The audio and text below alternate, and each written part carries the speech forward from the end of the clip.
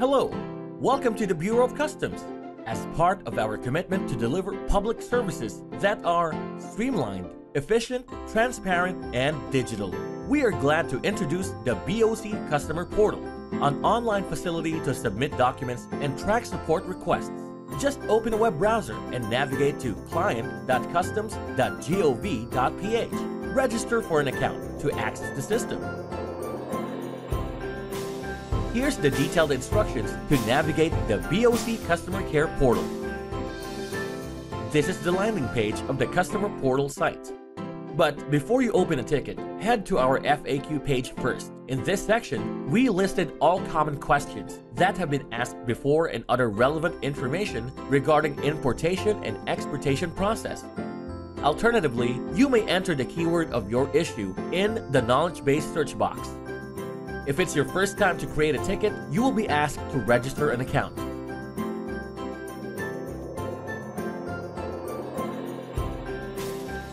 Enter your contact details in the registration page and submit your application.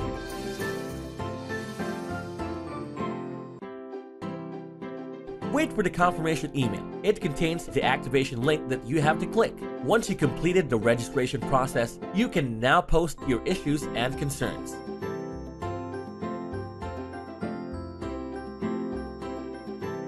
If we created a ticket on your behalf, say we received your concerns through phone, you will receive an email indicating the ticket number and description of issue. You can use the ticket number we provided to check the status of your ticket.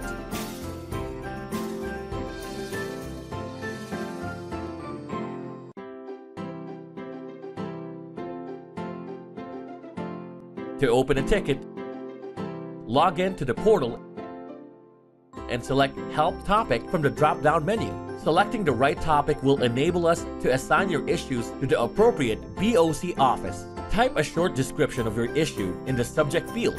You also need to enter the complete details and other relevant information so that we can immediately provide answers.